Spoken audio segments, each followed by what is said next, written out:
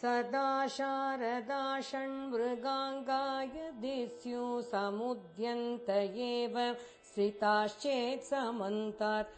सदा पूनबिम्बं कलङ्कैश्च हीनस्तदा त्वन्मुखानां भ्रुवे स्कन्दसाम्यम् स्फुरन्मन्दहासै सहंसानि चञ्चत्कटाक्षावळि भृङ्गसङ्घोज्ज्वलानि सुदास्यन्दिबिम्बाधराणीशसूनो तवालोकये षण्मुखाम्भोरुहाणि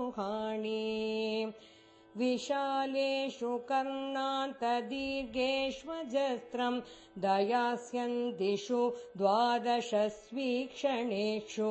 मयीषत्कटाक्ष सकृत्पातिश्चेत्त्वत् भवेत्ते दयाशीलकानामहानिः सुदाङ्गोद्भवो मेसि जीवेति षड्धा।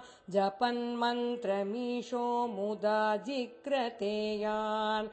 जगद्भारभृद्भ्यो जगन्नाथ तेभ्यः किरीटोज्ज्वलेभ्यो नमो मस्तकेभ्यः